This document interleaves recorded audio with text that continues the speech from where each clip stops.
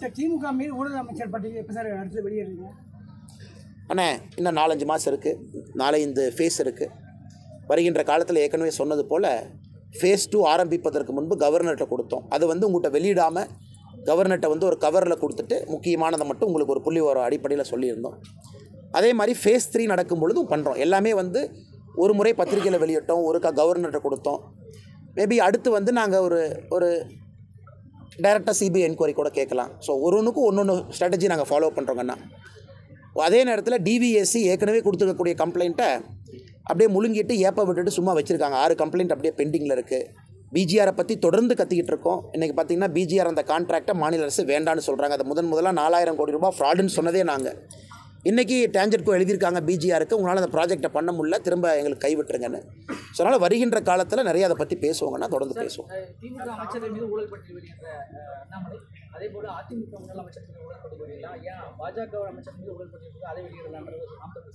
அவர் அவர் வெளியிட்டுமே. நான் சீமானனுக்கு சொல்கிறது ஒன்றே ஒன்று தான் நான் வெளியிட்டு பேசுகிறேன் அதாவது என்னுடைய கை வந்து அடுப்புக்குள்ளே இருக்குது கை நான் சூட்டாக வச்சுருக்கேன் நான் பேசுகிறேன் வெளியிடாமையே என் கருத்து சொல்லணும்? சரி நீங்கள் வெளியிடுங்களேன்.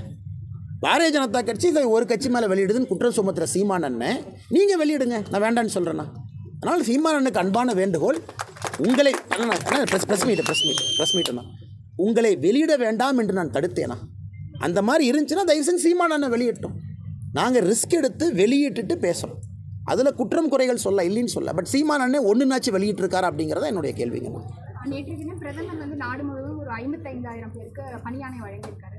இது வந்து தேர்தலின் போது பிரதமர் நடத்தும் நாடகம்னு சொல்லி காங்கிரஸ் தலைவர் மல்லிகார்ஜுன கார்கே ஒரு விமர்சனம் செய்திருக்காரு. இந்நிலையில் பார்த்தீங்கன்னா இன்றைய தினம் இந்த எரிவாயு விலை வந்து குறைந்திருக்கு. எப்படி இல்லை. அதாவது பாரதிய ஜனதா கட்சி by our very nature party பார்த்தீங்க அப்படின்னா ஓகே ஐஎஸ்ஆர்ஓ ஒரு சின்ன எக்ஸாம்பிள் கொடுத்ததுக்கு பதிலுக்கு வர்றேங்க.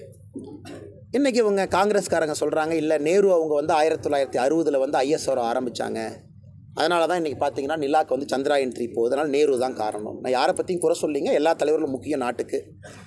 மோடி ஐயாவை பொறுத்தவரை நம்முடைய ஆட்சியினுடைய சிறப்பம்சமே எந்த துறைக்கு பட்ஜெட்ரி சப்போர்ட் கொடுக்கணுமோ அந்த துறைக்கு நம்ம கொடுக்குறோம். ஐஎஸ்ஆர்ஓக்கு ஒரே ஒரு டேட்டாங்க கடந்த ஒன்பது வருஷத்தில் ப்ரைவேட் சேட்டலைட்டு மொத்தமாக நம்ம லான்ச் பண்ணியிருக்கிறது நானூற்றி நாற்பத்தி ரெண்டு. நைன் இயர்ஸில் ப்ரைவேட் சேட்டலைட் லான்ச் பண்ணுது.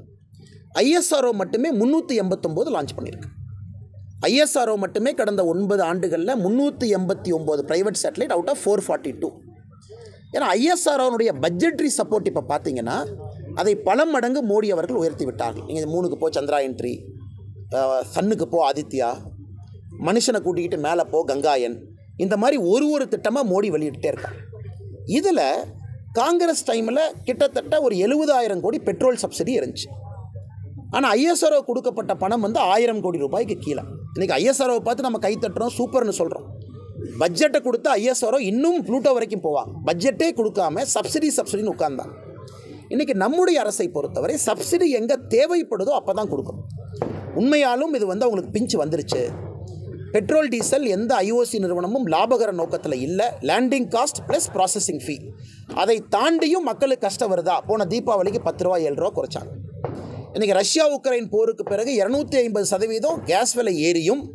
மத்திய அரசு மேனேஜ் பண்ணி அது இன்னும் மக்களுக்கு ஒரு கஷ்டத்தை ஏற்படுத்துதா? இரநூறுவா சப்சிடி ஸோ நம்மை பொறுத்தவரை சப்சிடி என்பது கடைசி வாய்ப்பாக மோடி அரசு கடந்த ஒன்பது ஆண்டு காலமாக கொடுக்குறாங்க. முடிஞ்ச வரைக்கும் அரசு கண்ட்ரோல் பண்ணும். முடியாத பட்சத்தில் சப்சிடி கொடுக்கணும் அப்படின்னு. ஏன்னா முக்கியமான துறைக்கு போகக்கூடிய பட்ஜெட்டு சப்சிடியில் போகக்கூடாது அப்படிங்கிறது மோடி ஐயாவுனுடையது பாரத் பரிமலா யோஜனாவில் அஞ்சு லட்சம் கோடி போகணும். கத்தி சக்தி இருபது லட்சம் கோடி. ஏன்னா அடுத்த கட்ட போர்ட்டு விமான நிலையங்கள் ரோடெல்லாம் கட்டுறோம். ஐஎஸ்ஆர்ஓக்கு பலாயிரம் கோடி ரூபாய் பட்ஜெட் போகணும். இதை போன்ற நிறுவனத்திற்கு பட்ஜெட் போனால் தான் அடுத்த கட்ட இந்தியாவை கட்டமைக்க முடியும் என்பது இது.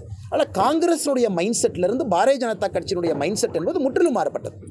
அதனால தான் மல்லிகார்ஜுன கார்கே அவர்களோ ஜெயராம் ரமேஷ் அவர்களோ சப்சிடியை பற்றி அவங்க காங்கிரஸ் மைண்ட் செட்டில் பேசுகிறாங்க ஏன்னா நம்மை பொறுத்தவரை இன்வெஸ்ட்மெண்ட் மக்களுடைய ஆக்கத்திற்கு பணம் தேவை என்றால் அங்கே அனுப்பணும் தேவையில்லாமல் கொடுக்கக்கூடாது. இது முதல் பாயிண்ட்டுங்க ரெண்டாவது அண்ணா இந்த இந்த இந்த இந்த வேலைவாய்ப்பை பற்றி எப்போ நாம் சொன்னோம்? ரெண்டாயிரத்தி இருபத்தி இரண்டு ஜூன் மாதத்தில் மோடி ஐயா சொன்னாங்க. டிசம்பர் முப்பத்தொன்று ரெண்டாயிரத்தி இருபத்தி மூன்று முடியும் பொழுது நாங்கள் பத்து லட்சம் பேர்த்துக்கு வேலைவாய்ப்பு உருவாக்குவோம். அப்படின்னு சொல்லிட்டு அவர் சொன்னது ரெண்டாயிரத்தி இருபத்தி ரெண்டு ஜூன். இன்றைக்கி பார்த்தீங்கன்னா ஒரு வருஷம் ரெண்டு மாதம் முடிஞ்சிருக்கு. அஞ்சு லட்சத்தி ஐம்பதாயிரம் அறுபதாயிரம் பேர்த்துக்கு வேலை வாய்ப்பு கொடுத்தோம். எழுபது எழுபத்தோராயிரம் எழுபத்தோராயிரம் கொடுத்து என்னவோ ஐம்பத்தோராயிரம். இந்த ஐம்பத்தி ஓராயிரமே பேராமிலிட்ரி டெல்லி போலீஸ் போலீஸ் துறை சம்பந்தமானவங்களுக்கு ஐம்பத்தி ஓராயிரம் இதை காங்கிரஸ் புரிந்து கொள்ள வேண்டும். இதை மத்திய அரசு ஒரு இலக்காக இரண்டாயிரத்தி இருபத்தி ரெண்டு ஜூனில் பத்து லட்சம் பேர்த்துக்கு வேலைவாய்ப்பு உருவாக்குவோம் என்று சொன்னதை தொடர்ந்து செஞ்சுக்கிட்டு இருக்கோம். டிசம்பர் முப்பத்தொன்று முடியும் போது பத்து லட்சத்தை ரீச் பண்ணிடும் மல்லிகார்ஜுன கார்கே அவர்கள் ஒரு வருஷமாக தூங்கிட்டு இன்றைக்கி அவர் ஒரு ட்வீட் போடுறாரு. இந்த மாதிரி நீங்கள் வேலை வாய்ப்புங்கிறது ட்ராமா சரி வேலை வாய்ப்பு எப்படிங்க உருவாக்க முடியும்? வேலை வாய்ப்பு புதுசாக உருவாக்கலாம். அந்த துறையை வந்து விஸ்தாரப்படுத்தி உருவாக்கலாம். புதிய நிறுவனத்தை ஆரம்பித்து பண்ணலாம். அல்லது புதுசாக போஸ்டிங்கை கிரியேட் பண்ணலாம் இருக்கிறதுல. அவருடைய ட்வீட்டை நானும் படித்து பார்த்தேன். இவங்க ஏற்கனவே இருக்கக்கூடிய வேலை வாய்ப்புக்கு ஆளை நப்புறாங்க அப்படிங்கிறாங்க. இது என்னங்க விசித்திரமாக இருக்குது அதாவது இன்றைக்கி மத்திய அரசினுடைய நிறுவனங்கள் எக்ஸ்பேன்ஷன் மோடில் இருக்குது புது ஆளுக தேவைப்படுறாங்க. ப்ரொமோஷன் ஃபில்லப் பண்ணாமல் இருந்தாங்க. ஏன்னா நீங்கள் ஒருத்தரை வந்து ப்ரொமோஷன் பண்ணிங்கன்னா கீழே ஒருத்தர் ரெக்ரூட் பண்ணணும். இந்த அடிப்படை அறிவு இல்லாமல் காங்கிரஸ் பேசுகிறாங்கன்னா எப்படி? ஒரு ப்ரொமோஷனில் ஒருத்தர் உட்கார வச்சா கீழேருந்து ஒருத்தர் மேலே வந்திருக்கணும். அதுக்கு ஒரு நியூ என்ட்ரி கொடுத்தாகணும். இது அனைத்தும் சேர்த்து பத்து லட்சம் பேர்த்துக்கு மேலே மத்திய அரசிலே வேலை வாய்ப்பு உருவாக்கப்படும் சொல்லிட்டாங்க. அடிப்படையே புரிந்து கொள்ளாமல் காங்கிரசினுடைய மூத்த தலைவர் கிட்டத்தட்ட பல பல பலமுறை எம்எல்ஏவாக பலமுறை எம்பியாக பலமுறை இருந்தவர் காங்கிரசினுடைய பெரும் தலைவராக இருக்கக்கூடிய மல்லிகார்ஜுன கார்கே அவர்கள் அடிப்படை புரிதல் இல்லாமல் பேசுவது உண்மையாலுமே ஏமாற்றம் அளிக்கிறது. பாதகம் செய்பவரை கண்டால் நாம் பயங்கொள்ளலாகாது பாப்பா. மோதி மிதித்து விடு பாப்பா. அவர் முகத்தில் உமிழ்ந்து விடு பாப்பா. அண்மை செய்திகளை உடனுக்குடன் தெரிந்து கொள்ள இணைந்திருங்கள் இயம்நாடு தொலைக்காட்சியுடன்.